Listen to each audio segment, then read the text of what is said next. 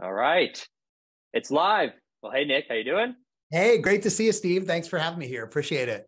Hey, likewise. Uh, same to you. I think the last time we got together or saw each other was at uh, at Pulse back at in, Pulse, in our conference. Yeah, great, great to have you there. It was awesome. It was uh, my first Pulse, our first Pulse. So that was that was really fun. You got another one coming up soon, right?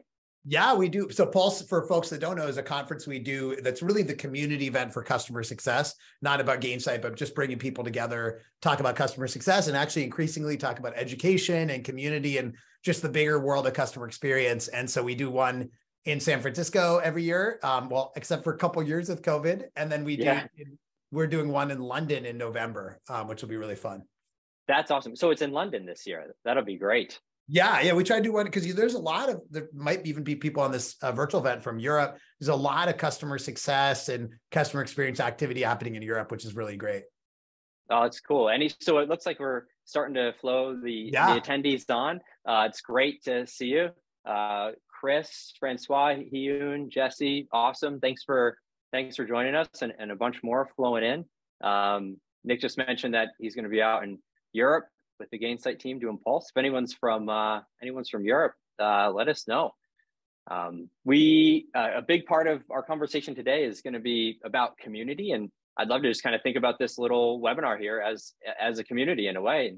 Yeah, And uh, the main thing we want to kind of do is make sure we're we're answering everybody's questions. So uh, instead of kind of waiting to the end and having a hard break for Q and A, you know, drop your questions into the Q and A or, or drop them into the chat. Say hello, and uh, let us know what's top of mind for you. That ultimately this is, you know, this is about this is about what you want to hear, and uh, Nick and I will do our best to make sure we we address everything. So if you got questions, go ahead and, and drop them right in. so Nick, you got uh, some other so so Pulse is obviously coming up. Um, I know I've been on the road a ton over the past yeah, couple weeks. It's it's I gotta say it's great to see in person events back and and really back. Uh, Oh, it's how, amazing. how's it been? I mean, how's it been for you? Have you been doing some other events too? yeah. So much travel. I mean, I love it. I same with you. I get so much energy getting to meet people in the community and customers, and I think they have everyone has so much energy seeing people right now. Just given you know some a brief uh, interlude where we weren't able to do that for a few years, and so uh, between that and then actually a lot of personal travel, I was telling you, I took Mm. my daughter to Pittsburgh where I grew up for one weekend. My my oldest is um, graduating from high school this year, and so we're doing college visits, the two of us. So I've I've been traveling like almost every actually every week since I think like April or March. Um, so what's amazing is I got home from our most recent visit on Monday and I'm going to be home for seven days in a row, which I feel like is pretty pretty special. So Oh, that's good. That's seven some days in a row. That's kind of a sad sad record. But and inside that we, we we've done you know we did our Pulse event, which is our big kind of customer community conference. We're doing the same one in in Europe uh, in in London in a couple weeks in November, and then we did an event for um, chief customer officers um, that we do twice a year to bring together senior leaders. This was in Palm Springs um, a few weeks ago, Ooh. and um, you know, we'll talk more about it. But you know, hot topic is how do you connect together all parts of the customer journey between you know onboarding, customer success, adoption, community, education? How do you tie it all together into one uh, unified journey? Yeah, absolutely. Absolutely. Well, let's let's kind of let's jump right in. So, Yeah. uh, before we just kind of run a quick couple intros here, uh, for all the attendees on the line, uh, thank you so much for jumping in. I mentioned earlier, but if you kind of popped in over the past couple seconds, Nick and I really want to make this uh, about what you want to hear about. So, um, if you if you're up for it, drop your you know drop your name, drop your company, where are you from, drop that into chat. Uh, and uh, and most importantly, let us know what you want to hear about. Let us know your questions. So use the chat or use the Q and A function there and Zoom and get your get your questions in, get your topics in, and we'll scan through those as we're talking through and try to answer them uh, right up front. But anyway, we'll we'll get started. So my name's Steve Cornwell. I'm the founder and CEO of Northpass. I know we got a bunch of Northpass customers here, so thank you for being here. Uh, and uh, and then we have Nick. So Nick, tell us a little bit about you. Yeah, sure. Um, great to meet folks that I haven't met before. I'm the CEO of Gainsight. Um, we launched Gainsight about 10 years ago. And, you know, the whole vision of the company is that um, as com- businesses move to subscription and recurring revenue business models, um, more and more of the value of kind of the business is about not just getting new customers, but keeping and growing those existing customers. We, we today refer to that concept as durable growth. How do you grow in a more durable way? We've seen, you know, the last few years, companies trying to grow at all costs, getting throwing a ton of sales and marketing and getting new customers but the most efficient and durable way to grow is through your existing customers by by keeping them longer by getting them to buy more products and services from you and also by getting them to be bigger advocates that's often measured now in the industry as in the metric of net revenue retention and so at Gainsight, we're all about helping our clients improve net revenue retention to be able to build a durable growth business. The way we do that is, you know, we build technology around customer success and making your customer success team more scalable technology around community, getting your customers connected together, technology around your product and actually understanding how people use your product and driving better adoption of your product. And then the biggest thing we do is try to get you know people together connected to learn from each other. So we run the world's largest community on customer success and have written several books on it, things like that. Yeah, yeah. Pick up the books, jump, jump into the community. Uh, it, it's awesome. Well, thanks, Nick. Thanks for joining us. You mentioned durable growth. That's obviously yeah top of mind right now. I, I kind of like say like efficiency, you know, is, is cool again. Uh, yeah, uh, in, right. In the economy, which is which is refreshing, right? I, I um, it was interesting. I I uh, read a report from Bessemer Venture Partners, and they showed this data, and it showed that a year ago, when it comes to like valuate valuing companies, uh, a dollar of ARR growth was equal to six dollars of free cash flow and now it's one to one basically saying like hey like uh, a, a, profitable based model is is, is more valuable. Right, so exactly. um i'm kind of curious like you know you've been studying this space like why do you think it's taken an economic shock to like transition back to a more you know uh, durable or, or, or, model? Yeah I, I, think it's pretty simple. It's I mean, just not to oversimplify it but fundamentally it's uh, when money is cheap uh, with interest rates and quantitative easing, um, what what happens is uh, the financial models for valuing companies end up valuing a lot that that money that's very far in the future, right? So mm-hmm. you can have a business that's going to lose a ton of money for a long time, grow really fast, and eventually make money. You know, dot dot dot. Uh, if you're a Seinfeld fan, yada yada yada, you eventually make money, right? And so that, that if you have a zero percent interest rate, the money way in the future is worth the same as the money in the present. That's kind of what's crazy and counterintuitive. But now, in a world of more realistic interest rates that are higher, uh, it's much more important to be able to deliver money along the way. Meaning, you can't just say, eventually we're going to get profitable, eventually we're going to figure out efficiency, eventually we're going to get durable. But for now, we're just going to grow at all costs. You know, investors want to see that progress along the way. And so that's basically mm-hmm. caused a revaluation, as you were just alluding to, of how to think about valuing subscription businesses. It's no longer just about growth, it's about growth and the ability to be profitable, the efficiency, the durability of your growth. Yeah. And you mentioned net revenue retention, obviously top of mind for subscription-based business. Are, are, what other KPIs, you know, are you seeing kind of come into into focus for for folks? Yeah, absolutely. So, you know, there's net revenue retention is sort of like the, the, the big picture, right? But within that, you mm-hmm. can break it down and you can say, okay, well, that to if you improve your net revenue retention, part of that is your gross retention. And that's actually something that's super important to measure on its own. And what just for people that don't know, net revenue retention is like looking at all my customers, my existing customers, and then maybe a year later, have they grown in collective spend? Have they shrunk in collective spend? So that number could be 150%, it could be 90%. Basically, it's unbounded. Um, gross revenue retention is saying, okay, look at a set of customers a year later without counting anything new that they bought, without counting new products and services. Are they spending the same amount of money or less? So gross revenue retention is capped at 100%. And, you know, it's basically another way to think about churn. Churn is one, you know, 100% minus gross revenue retention, right? Mm-hmm. And so the concept is with gross revenue retention, it's about keeping your customers, making sure they're still seeing the value. Net revenue retention adds in the ability to expand. And the reason gross revenue retention is so important is it's really a fundamental measure of the product market fit of your business, right? What is the fit of your business? If you have a 60% gross revenue retention, honestly, your company, unless you get that fixed, is just going to go out of business. Like there's no there's no solution to the problem. Your company is basically worthless.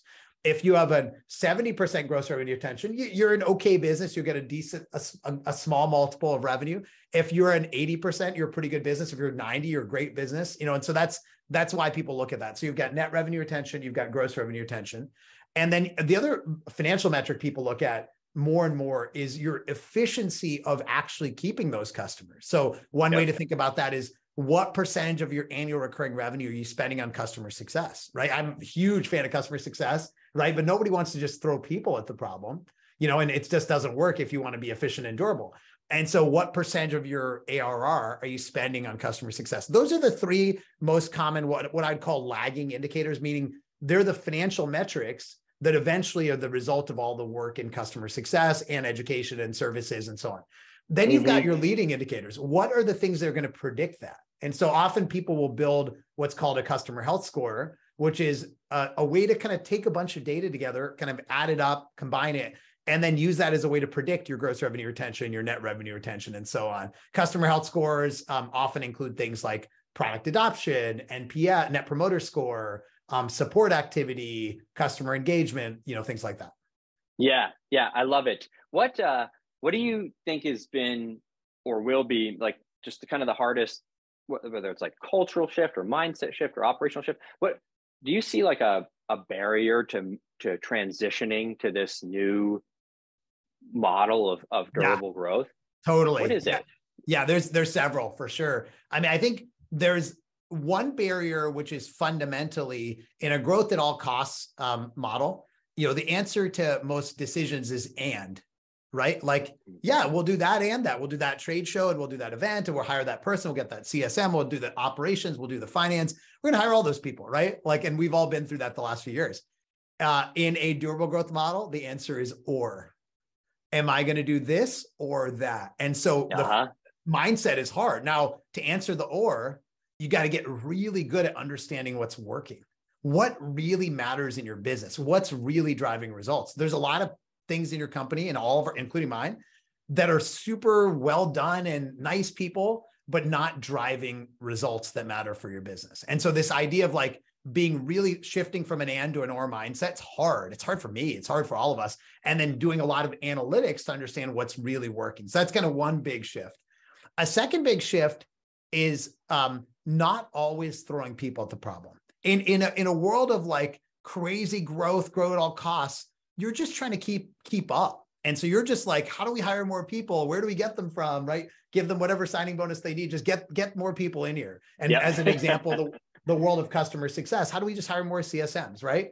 Um, but in this new world, you've got to be saying, how do we do more with digital? Right? Whether it's making customers better educated or letting them connect w- with peers in the community or doing more in the product or automating some of the communications or, or having a, a pooled approach to csm versus named csms there's a lot of different things you can do but this concept of digital customer success and the digital journey it's the hottest thing right now because it's the only way you're going to solve the math problem. The math problem is your cfo has probably told you no more budget for headcount right? No more hiring or, or as little as possible. And you need to preserve your retention because it matters so much, particularly in a downturn. So what do you do? The only way to do it is through automation, digital, all that kind of stuff. And so what we're seeing, I actually was talking to a customer yesterday, and he said, I went to my CFO and I said um, he, he was going to hire, you know, 10 people next year. And he told his CFO, I only need five and just give me some money for technology, operations, process, so we can stop throwing people at the problem. So that's the second thing. So I said, moving from and or thinking not just about throwing people at the problem. And then the third one is, I think, a mindset shift that's probably the hardest, which is, um, you know, we've lived in a world of incredible abundance the last few years, right? I mean, you just think about like the mm-hmm. average employee, and it's like you're getting job offers every day and you know you can double your salary going from here to here your company's stock is going up a lot you might have invested in crypto and that's going up a lot your home prices are going up a lot you know if you're fortunate enough to own, own a home right all these things are happening and it all just feels so great. And um, a lot of it was frankly just propped up by you know low interest rates and everything else. And so we're in a new world where it's going to be more challenging. You're going to have to work a lot harder. It's going to be harder to move up. It's going to be harder. Your company's going to have to work harder. And i think that mindset shift i i hate i hate to kind of throw cold water on it but it's the real it's like taking the red pill in the matrix right? That is just the new reality. It's very hard for people to accept, but that new reality is one we have to all embrace and lean into. And by the way, we'll be able to build great companies through this. Um, and I think we'll also all do well really personally, but you have to accept that the world is just totally different and you almost have to forget what happened the last five years it's like it was a different universe so those yeah. are my three three things i love that and i love the or uh, uh, reality and uh, i think you know we, have been looking at uh, that like in, in, our business as well and I, I, actually think it's it's kind of fun it's challenging because exactly it, it, it just forces us all to have constraints and and i think that unlocks different levels of creativity, which is why you know we we get to we all get to a good place. So I, I agree. Uh, I, I, wrote something recently. I, I, talked about how I think growth at all costs, you know, the old world, it actually hurts everyone long term, right? Like you just think about it. You know, everyone's just like working frenetically just to keep up. And by the way, like you're not really doing a good job. You know it. Like you're just kind of sloppy, right? Like hiring people, not really thinking about whether they're right fit or not, and your culture gets worse. And by the way like you're you're just trying to grow so you're kind of jamming customers with sales. Your product isn't as good. Like i think slowing down being more thoughtful allows us to do much better work and doing good work is a big part of like the satisfaction of, of a job right? Yeah. and so i think these this decision making on the or being more analytical not throwing people at the problem just taking the red pill on this stuff it is it is mm-hmm. kind of very satisfying once you get your head around it for sure now, so in this kind of new world here of of or operations, uh, we we essentially need like a new playbook for growth. Yeah. Um, Gainsight's authored the the durable growth playbook. You kind of touched on it a little earlier, um, but uh, tell us just a, a, little bit more. Just un- unpack yeah. that a little bit for us. What's what is this playbook all about? Yeah, so we, we at our Pulse conference, which we are uh, grateful that you attended, um, you know, we announced this idea of the durable growth playbook. And the concept was okay, just as you alluded to, the way investors value companies now has shifted radically from growth at all costs to a mix of growth and efficiency. We call that durable growth. Durable growth is measured in terms of your net revenue retention. So, how do you actually maximize your net revenue retention? And we basically shared six things that we think the best companies are doing to maximize net revenue retention, maximize durable growth, and ultimately maximize the value of your company. So number one is is like what I consider the foundation, um, which is you can't have any surprises anymore. You can't be surprised by customers not getting value or not using your product well or having a poor experience. Like this is 2022. You have so much data. You should be using it and you should be much more organized. And if you're not, like fix that right away. You won't get through the next few years if you don't if you don't have that.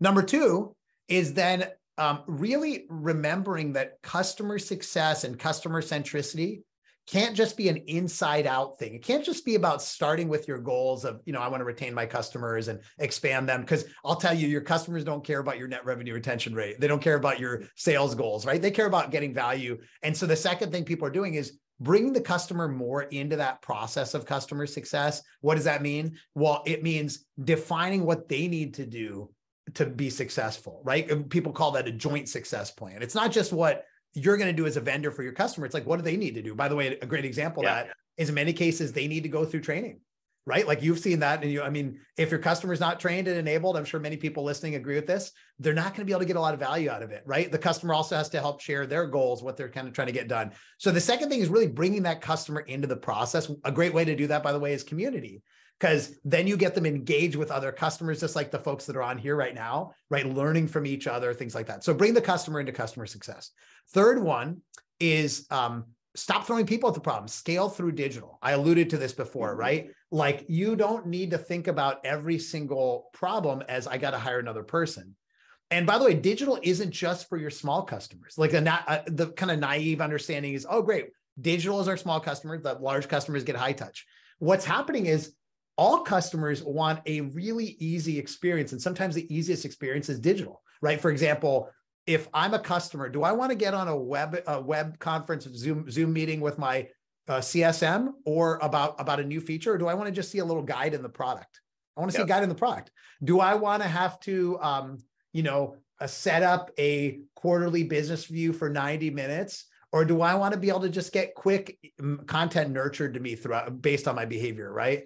Do I want to like have to have a very um, expensive, you know, travel to go to a conference or whatever, or do I just go into an online community and ask other customers some questions, right? So those kinds of things is scale through digital. Number four, go on offense. So it's easy in these downturns to get very, you know, defensive, but the truth is customers are looking to consolidate into fewer vendors and to do more with what they have.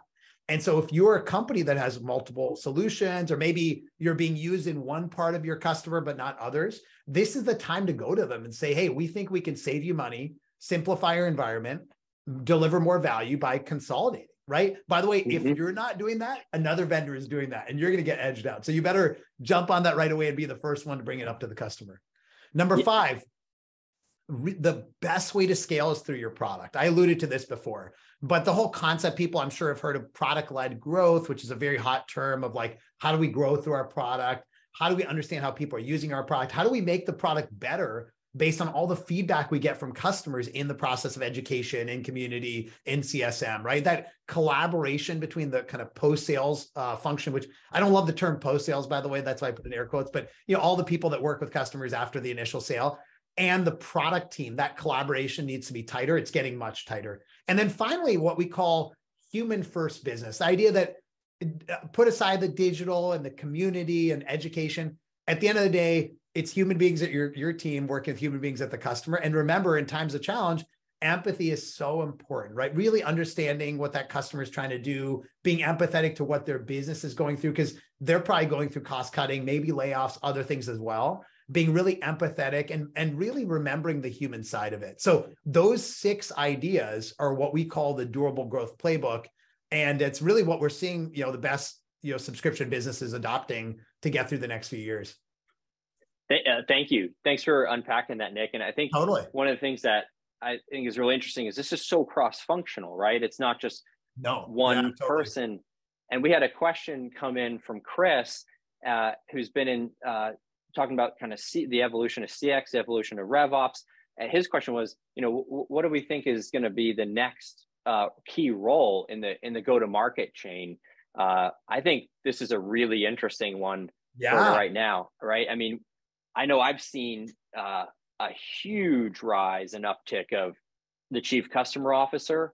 Yeah, uh, we've seen a lot in community. We've seen a lot of uh, in, in uh, education as well. Right. So there's been some new roles that I think snap really well kind of into this. What, what are you, what are your perspectives on like some of the key roles in making growth durable? Totally. Yeah. So one of the things that's becoming very mainstream, as you said, Steve, is uh, if you're, if you have enough scale, you know, if you're, you know, 20, 30, 40, 50 million of ARR, having a chief customer officer for sure. And a lot of people are saying, well, I'm going to put all the parts of that experience for the customer under one leader. And that means support, implementation and services, education, community, and customer success all under one leader who can think about that problem holistically. So that's become pretty mainstream. Um, and, and anyone of scale is, for the most part, doing that. Now, the next level of kind of innovation, um, you're seeing a lot more focus on strategy and operations inside that chief customer officer role, right? So, as I said, it's not just about throwing bodies at the problem. So who's doing that analysis to see what's working and what's not, where to focus and where not? You know, in sales, you have that. That's called sales operations, right? That's a very well understood field. You know, nobody would mm-hmm. build a big sales organization and have nobody thinking about territories and comp plans and process, right? You those roles are really important. CS operations is one of the fastest growing fields. Um, a lot of people are hiring like senior people for to lead it, and that's that's a big area. And then within that, as I alluded to, because digital is such a hot topic, you're seeing more and more of the emergence of the digital customer success role. And that's a role that's not about managing customers directly. It's about developing programs that span, you know, in product, education, community, email to kind of create this digital journey for the customer. And so that digital customer success is probably the the frontier, like the cutting edge of what of new roles.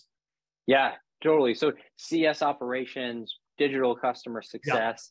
Yeah. Uh, Chris, thanks a ton for for your question. Uh, for ever, for anybody else who's got questions, uh, drop them into the Q and A. We'll try to get them answered uh, right in line with our conversation here. So, well, I have a question for the audience. I we've talked about efficiency. We've talked about um, durable growth. We we've talked about uh, kind of all the components of that. Uh, I'd like to launch a, a poll, uh, and the the question is has your company increased its investment in durable growth over the past mm-hmm. couple months or the past yeah. year? This could be customer success. Uh, this could be uh, uh, the, the digital side, the community side, the education side, the health scoring side. You know, uh, really, really interested in uh, seeing what the audience says. So some of the uh, options there are yes, there's been tons of investment. Hey, we've done a little bit. No, not really. Uh, everything's still go, go, go with with sales. Uh, or or maybe you've already been best in class for a while. So we'll give that a few seconds to let that roll that. in. And then I'm so uh, eager. I'm so eager to see the results. This is gonna be interesting. Let's see where we're at. Uh, all right, look at this. Wow, it's pretty. That's wow. pretty lopsided. I love this. Very good. Great, great job, audience. That's awesome. So st- almost seventy percent. I'm not sure if anybody can see it, but the results. I'll just read them out. Is about. It's almost seventy percent said yes. Lots of noticeable focus and investment. So great to see. And then really the other pieces, uh, somewhat, and then only 10% was, was not really. So great to see, you know, the, the rotation. You mentioned, uh, we, we talked about, um, Nick, we talked about uh, digital. We talked yep. about um, uh, operations. Um, I've, we, have talked a little bit about education. I'd love to kind of pivot there and, and uh, talk about education a bit. Um, I've heard you you say in the past that you know education is really the core um, of of customer success. Why why do you believe that? And, and why is why is education so powerful in your mind? Yeah i mean it's it is it's interesting because we've talked about that for years even just in our own business. So you know steve i'm sure you, you you've seen this experience with a lot of your clients where you know you you start out in cs like in the very beginning of a company and what's a csm doing they are meeting with clients and explaining to them how to use the product, right? Like that's what, and then getting feedback, obviously, right? Um, but a lot of what they're doing in the very early days of a startup is a one-on-one education. I remember our first like CSM, like our who was like our all-time like great CSM, Elaine Cleary, and she would do all these, you know, one-on-one. Like at the time, it was like WebEx meetings with clients, right? And explaining how to use the first version of Gainsight, right? Like way, way back when. Now we didn't call it education. That's just like CSM. That's just what you do, right? But you're you're training the customer. And um, when you think about it, what is the goal of education in a more fundamental level? And, and by the way, I'm, i will take a stab. I'd love to hear your your definition. But from my perspective, you know, part of education's goal is you're imparting knowledge with the goal of being able to help people change their behavior to achieve whatever goals they have. And so, what when you think about what is customer success, you are trying to help provide knowledge and best practices so the customer changes the behavior so they get goal, the value out of whatever you're doing. So customer success and education are almost like the same thing in a way. And when you think about it practically and you talk to most vendors and you actually talk to most csms and you say what's what's the what's in common amongst your best clients? Right? What's what are the common things? And we do this at Gainsight it's like my gosh like our best clients are the ones that have gone through our training like we have a certification mm-hmm. process for Gainsight and we we uh, we have an amazing person that runs that, Lila Meyer. She runs our training, and you know she's got these great charts that show like people that have been through certification versus not, and every single metric from NPS to retention rate, everything is better when somebody's been certified, right? When they've gone through training, when they they're so I think at a theoretical level, education is fundamental what customer success is about. At a practical level, education is one of the best levers to get the outcomes you want from customer success. Yep. Yeah. I mean, when you look at when I look across our, you know, our implementation, our onboarding, our customer success motions, our support motions, and everything in between, when you actually go and you, know, you read the emails or you, you, you listen to the recorded calls or you, you look at the tickets or you kind of participate in the meetings, what, no matter what function that is, what we're really doing there is we're educating yeah. clients, right? We're, we're trying really hard to, to make sure they understand how to use the product. Totally. Zoom out for a little bit what what they can do with the product, how they can get uh, uh, value from the product, right? Not, let alone how to actually use it. And so it is really interesting when you when you look at the actual words or the uh, whether they're written, whether they're verbal, that are coming out of uh, the the whole uh, team that's servicing the the customers. It really is all education, right? So, yeah, and it's, and, and uh, it's interesting because one thing I'll add to that is I think part of that requires us to maybe step out of what might be the narrow definition of education. So, of course, one type of education in software is people going through like a certification program or a training class of some kind, right? Maybe using your software to do that. And I think that is like a huge part of education. Of course, for the like hardcore users are going to go through that time and commitment. And then as you alluded to, you're educating them in all other parts of the journey. Like every time you do a call with them as a CSM, you're educating them. Every time you send them an email, automated email with the best practice tip, you're educating them. Every time you do an onboarding call, you're educating them. When they're in your community, they're being educated by each other, right? Like yeah. your in product pop-ups are educating them. So yeah, I totally agree with you. Education is the thread that connects the entire journey together. Now, customer education uh, in in concept isn't something new, but in the past couple of years, I mean, even if you just like look at the the Google trends yeah, of, of right. search volume over the past couple of years, it's just it's gone way up. Well, um, what do you think is causing kind of the the acceleration or the, the the bigger embrace of of a of a more formal education program? Yeah, and I'd love to hear your perspective on this too, by the way. But I'll I'll take a stab at it, just like seeing the space from a little bit of an outside in perspective it, it, it's very clear that people are changing the way they think about it, right? So I do think there was a historical view that it was a bit of like a cost of doing business. And at best, it was a new revenue center and services, right? So yeah, I've got my education business. I'm going to generate a certain amount of revenue and, and margin and so on. And at worst, it was just like a cost of doing business. And because of that, yeah, I think a lot of people just lumped it together with internal education. Oh, it's just like education. We'll do it for our clients. We'll do it for our team. And you know, whether they're taking the internal compliance certification or they're taking our product training, it's all kind of the same thing, right? And unfortunately, because of that, you had a lot of really dated uh, experiences in terms of customer education. That's why many of us we think of online education. We don't always have the best images in mind because it's usually the latest employee uh, compliance training you went through, right? Yeah, it's a but thou will take this. You have course. to you click next, next, next through all the videos or whatever. And, but what's what's happened is interesting. Is I think the new way of measuring subscription businesses the new accounting which as i alluded to is about measuring you know net revenue retention gross revenue retention it created a way to like find the attribution, the value for what education is, right? So education isn't just a services revenue line item, nor is it just a cost of doing business. It's a huge lever in some of the most important metrics in your business, name, namely gross revenue retention, net revenue retention, durable growth, right? It's like a key part of that. And I think a lot of companies learned this by doing it, right? They, they basically started out they had a bunch of CSMs, and then you know the CSMs are doing work, and then they start, you know, they introduce just like we did. You introduced, you hired an education person mainly just to offload the CSMs. You know, initially it's an efficiency play, right? It's like, oh, okay, why would I do one to one training when I could do one to many? Awesome, great. So you buy software from your company, you implement that. But then what you realize is you start looking at those customers that have gone through the training versus not, and you're like, oh wow, they're expanding faster, they're retaining more, they're higher NPS this isn't just an efficiency play. This is truly like one of the best levers for durable growth. And so I think everyone's kind of going through that maturity process. And it's amazing how different it is from a few years ago. Yeah. Yeah. I think some of the some of the things too that you know we're seeing is the just some of the business model changes. So, you know, mm-hmm. we've gone from to like largely a recurring revenue economy right? Obviously, in in SaaS, you know, it, it, that's that's the the foundation of our our our business models. But we're seeing recurring revenue in in other uh, parts of the the economy as well. Yes, so totally. I think like that that relationship, that ongoing relationship. How do you maintain and grow?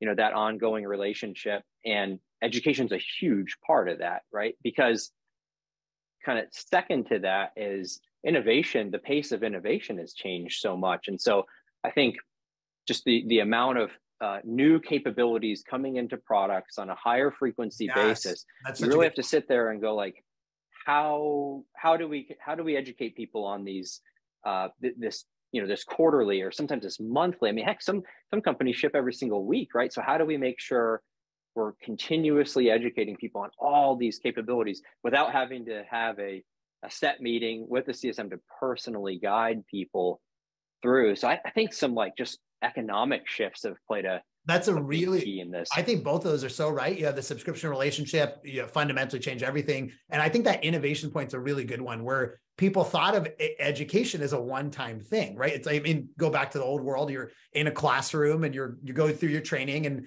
by the way, that probably worked in the 1990s, right? For some mm-hmm. software, you know, maybe you maybe you're implementing SAP and you go through the SAP training and you install SAP on your in your servers and you're probably not going to upgrade it for like 10 years. Yeah. like once that thing's installed, you don't mess with it. And so, right. but then as you observe, like for your company or my company or any SaaS company, you're shipping things like every week, every quarter. And so education is this forever thing. It's not a one-time thing, which by the way is probably similar to how education's evolving for all of us in real world too, right? Like it's not like the computer science class I took in 1994 on Introduction to C is at all relevant to programming right now. So if I sure. wanted to be a continue to be an engineer, I got to continue to dust up my skills, right? And so um, it is a continuous process. I think the other piece of it too is, and this is so exciting, um, is uh, just the, I think the the new recognized value of the customer success team and, and all yes. the capacity you know that this that the team has to to drive growth to drive revenue so if you want to unlock that team to drive gross retention as you mentioned to drive net retention how do you remove certain kind of uh, repetitive pieces from them uh, i was talking to one of our customers the other day uh, she's actually on here elena shout out to you uh, and uh, she told me that um, ever since she started running the education program, her implementation team doesn't do the routine training uh, anymore. And so now yeah. they can go and drive value and they can build more valuable configurations or integrations or whatever kind of the nuance of that software is That's instead awesome. of doing training. So pretty cool. Um, I think uh, another question I have is um, education's traditionally been embraced by like the big companies, right? Yeah. So you mentioned kind of like education services revenue. That's you think of like huge companies for that. What about now? You know, is this and I guess maybe even broader, just digital digital uh, customer success and, and education community? Is this big companies, little companies? No, what, no, yeah. kind of seeing this. I'm glad you mentioned that because I think that that that was probably the old mindset was mm-hmm. you know scale to start with a lot of people and then eventually we'll figure out digital and education and whatever. And I think the things that have changed that one, one is, of course, the forcing function of the economy and valuations, everything we've talked a lot about, right? People have to get efficient a lot sooner than they used to. But I think that probably the more interesting thing is the modern customer expectation, not by everyone, by the way. I saw there's a good question uh, that was in there about, you know, does everyone really want a digital journey? No, no, for sure. Some people want a high touch. That's great. But there's a lot of people out there that want digital, right? They want self-service. They want on demand, right? All whatever buzzword you want to use.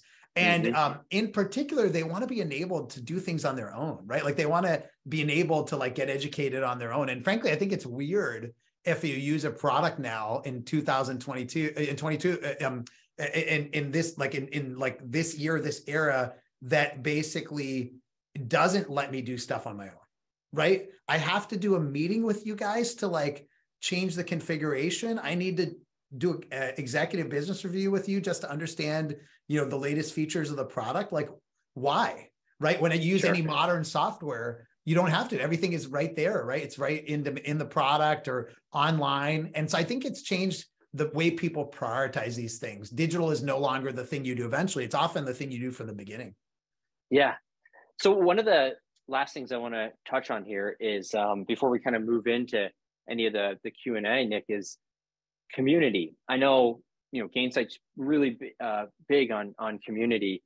Education fosters community, yeah. right? In in a really really big way. Um, you know, people learning together, people yep. sharing together. Kind of would love your perspective. You know, how have you how have you seen education foster community or play a key role in in the development of community? Yeah, it's interesting because part of it is like defining what's community, right? And so we actually mm-hmm. um, spent a lot of time thinking about this. And fundamental community is this idea that like there's a bunch of people that have a feeling of kind of common beliefs and belonging and shared goals, right? That's like what community in the generic sense is, right? And I think what ends up happening is in a in a B2B company, which I presume most people here are, you've got your customers that actually are all doing a job that's similar from company to company. And frankly, in their own company, they might feel like a little bit alone, right? They're like, oh, I'm the only person that does this. But actually, the thing that binds them together is the other people in the other companies doing the same thing. And you have this opportunity to bring those people together, make them feel that connection, make them feel that belonging, right? And so community is definitely one of the hottest strategies in business right now. There's a term people are starting to use called community led growth, right? How do you mm-hmm. start with the community and then actually build your business on top of that, which is really interesting. A lot of good examples of that out there. But one of the things that I think binds a community together is people that feel like they're actually all learning together and also at similar levels so they can learn from each other. And this is why, you know, let's use Salesforce as the ultimate example with Trailblazer, which is the community they have, or any other example, right? Where you, you build a community of your, your people that have gone through training and education and or want to continue to learn, like that actually haven't stopped. They want to keep learning. That is the most powerful community because they they've already like anteed up and said, okay, yeah, I've gone through basic training. I, I know the basics of this product, but I want to get great at this. And I want this peer group to help me get great by, by the way, giving me feedback and support, but also maybe challenging me, showing me what they did and maybe making me feel a little FOMO. Why am I not doing that? Showing me the certification they got. And, and so there's this really good virtuous cycle between community and education, um, which is why I'm super excited about what you're doing. Yeah. Awesome. There's a question on this topic from uh, in uh, in our Q and A here, and it's about the the tech stack to yeah. kind of bring bring this together, right? Um, Chris says, um, can you talk about steps and tech tools or categories of tech tools needed to pull this community led growth strategy together? So, um, Nick, kind of, what are some of your, I guess, if you think like categorically yeah. or, or uh, kind of what are your thoughts on that? Totally. Yeah. Here's the buckets that we're seeing in our client base. Um, so um, obviously you got, you typically you've got a, you you still have some level of human high touch, you know, CSMs and onboarding and stuff, managing customers. So there's sort of the the workflow for those people. That's what you know, Gainsight's first product is, is kind of customer success workflow. So that's that's one thing, right? It's always going to be there, and you want to have that interact with the other parts of the digital stack well. Then you've got your online community, right? So that might be a, a, forum that you set up where your customers connect with each other. You know, we we have a product in that area called Inside, Insided. There's other other solutions out there as well, and that's important because you want to have your own community. But then there's also third party communities. Like no matter what you do, if you're successful, your customers will create their own communities, right? It might be on Slack, it might be on Stack Overflow, it might be. They're probably already out there, right? They're yeah, probably, they're probably exist, right? And yeah. so there's actually some pretty cool technology. It's very emerging, very young companies uh, doing community analytics, helping you understand what's happening in the other communities around you. So I think that's an interesting little, little but interesting area that you know we're seeing. So, so you've got this kind of community. That's one part of digital, but then the other parts of digital are in product. So how do I understand people are using my product and also guiding them in the product through kind of messages and pop-ups and stuff like that. So that's an area that very hot. We have a product in that area called Gainsight PX, and everyone is doing something in that area. That's kind of universal now in SaaS. Mm-hmm. Then you've got your um, uh, education world, right? And so we really are huge believers that that needs its own area, that needs its own kind of standalone education, but ideally also have it be integrated into the over time into the app and other parts of the journey.